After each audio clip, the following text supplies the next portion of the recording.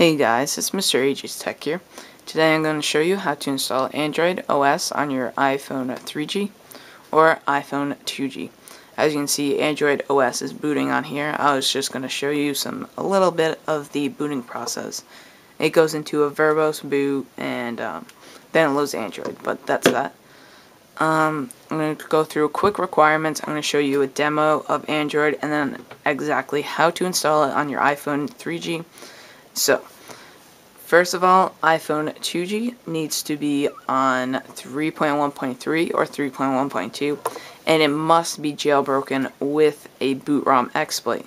BootROM exploit is very necessary, and if you don't know what BootROM exploit, you can check down below. I'm going to do some iPhone 2G um, jailbreak info and all that stuff. Um, but basically, you must be jailbroken with BlackRain, Red Snow, or Pwnage tool for the iPhone 2G because um, Spirit will not work because it's a userland jailbreak and it doesn't allow you to flash the kernel. So that's some huge requirements and of course must be jailbroken if you didn't catch on to that. So the iPhone 3G right here, it's running 4.1 and it must be, it can be 3.1.2, 3.1.3, 4.0, 4.0.1, and 4.1, as long as it's jailbroken with a BootROM exploit. So again, Spirit and Jailbreak Me will not work. And uh, so there will be more instructions on jailbreaking your iPhone 3G with compatible jailbreak tools. Usually Red Snow is your best choice for the iPhone 3G, so that will be down below. Okay, so right here we have Android OS booted up on the iPhone 2G. Just a quick look through um, with it. As you can see right here, it is um, pretty basic, normal Android. Some things do not in fact work, but some things do. Um, it is in fact running Android. I mean, if you can't tell, this is not iOS at all. So, I'm just going to show you something. Uh, let's see. Show you that. I don't even know. It's just Android. Um, you have more stuff than the last port of Android for it. But um, yeah, if you go into phone, um, phone actually does work on the iPhone 2G and 3G but it is very laggy and it not, should not be um, used for like primary stuff. So that is um, just that. So, and the buttons are a lot different. But I'm going to go into the actually installation portion of this video. So, I'm going to be showing you this tutorial with the iPhone 3G. So, um, you're going to want to open up Cydia the jailbreak um, Cydia store. And you're going to want to go over to this manage category. You're going to want to go over to sources. You're going to want to click right here edit then hit add. And you're going to want to type in repo dot neon koala. Don't ask me how they got the name but you're going to want to type this in Again, this is down below in the description. You're going to click add source. It's going to refresh. I already have it added. So you're going to want to do that. Click on this. And all there is right there is bootlace. That is what is used to get Android. Now I'm also going to show you this. I'm going to turn it off and put it into iOS, show you that that still works. And show you that there is a bootloader between Android OS and iOS. So right over here, you're going to want to click install. Once that, let that load, install, and confirm. So we're going to let that do its thing. It's pretty fast. And while this is booting off, that's going to reload the data. So there it is, right, turned off. We're just going to turn it on. And right here we have the bootloader. So right there is Android. Console is your developer tool and um, all that kind of stuff, and iOS. You click home button to initiate a partition, which I'm going to do right now. We're going to boot iOS. And this is 3.1.3 because it's on the iPhone 2G. So we're going to click return to Cydia, home button, and you'll see right here is bootlace. Now I'm going to show you that it is running 4.1 as you can see right there. Um, I will also show you the general about um, options so let's just load that up. And general about.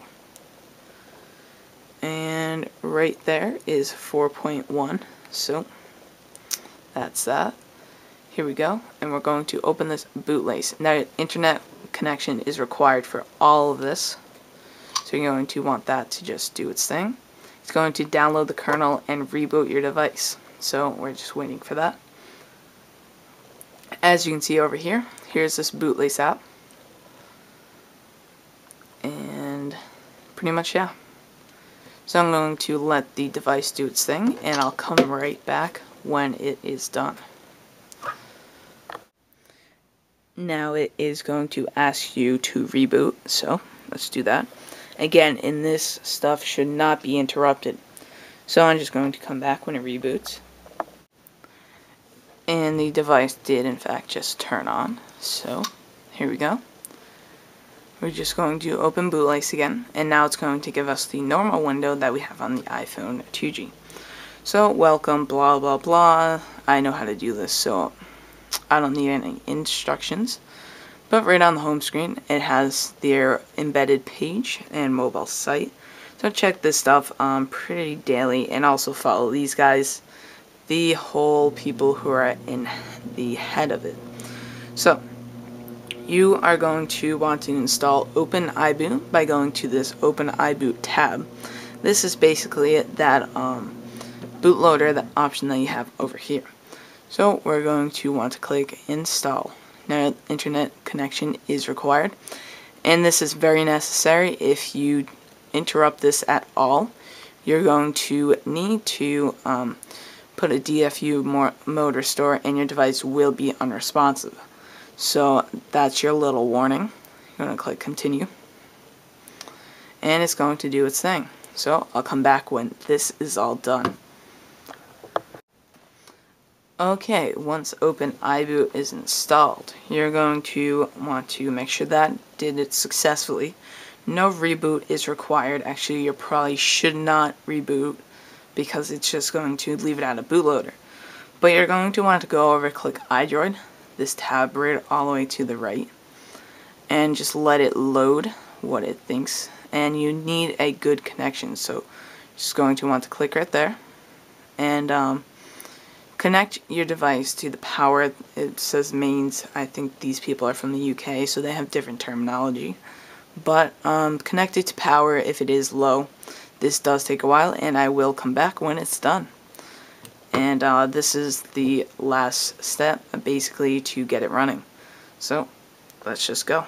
I'll see you when this is all done okay guys now that we have Android installed you should be here if you had any errors you should probably make sure that you can reboot and all that if you cannot I'll have some instructions down there as to how to fix if you got any errors although you should not, I trust this program 100%. Now you see right here, if there's any, any ever any upgrades, you can just click upgrade.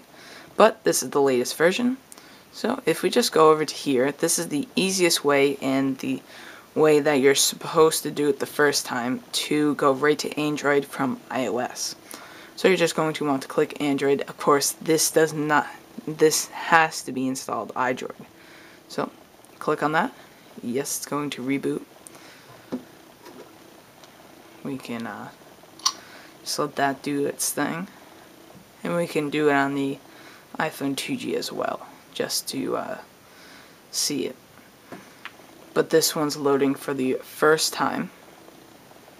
So it's going to take probably a little bit longer than this one, but maybe not because the iPhone 3G is a tiny bit faster than the iPhone 2G, but not by much. So I'm going to just let this go through. And as you can see, this one's already on the Android booting part. This one's still loading the partition. So.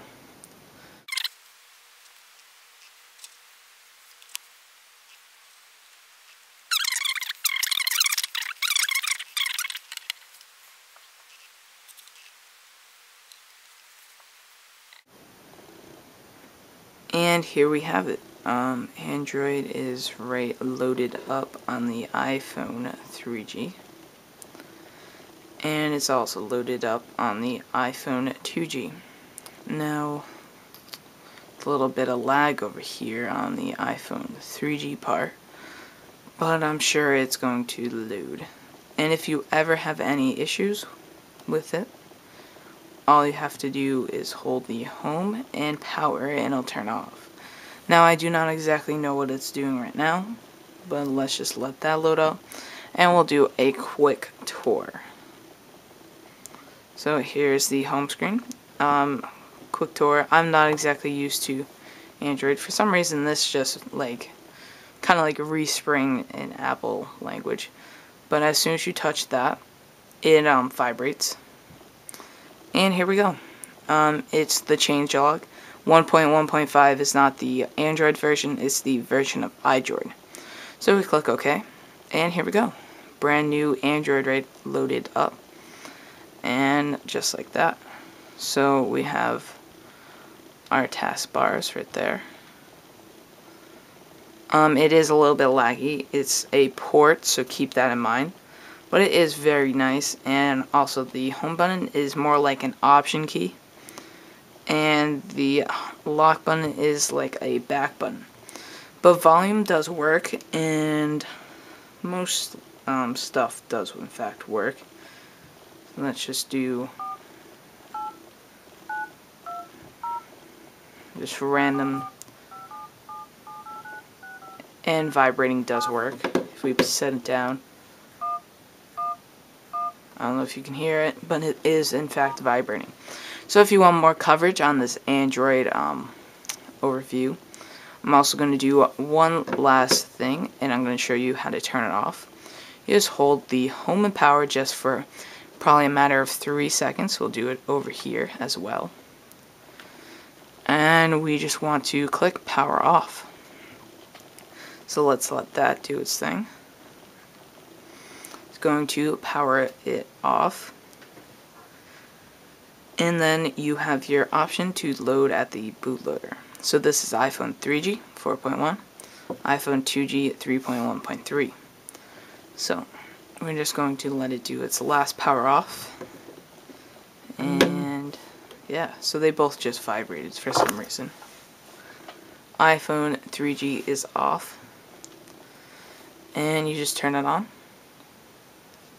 There we have Open iBoot, that thing that we installed first and we have OpenIBoot over here as well and you just click home and it boots so as you can see right there Android OS on the iPhone 3G and iPhone 2G. I think I will be doing a full walkthrough once I get used to the Android. Of course, iOS is way better than Android in my opinion and on these devices. So guys, don't forget to rate, comment, subscribe. Go check out Hack My iPhone down below. There's usually a lot of support, and there also is my contact form if you're having any wicked issues with this Android installation. So guys, don't forget to rate, comment, subscribe. And this was Mr. AJ's Tech, and I'll see you in the next video. See ya.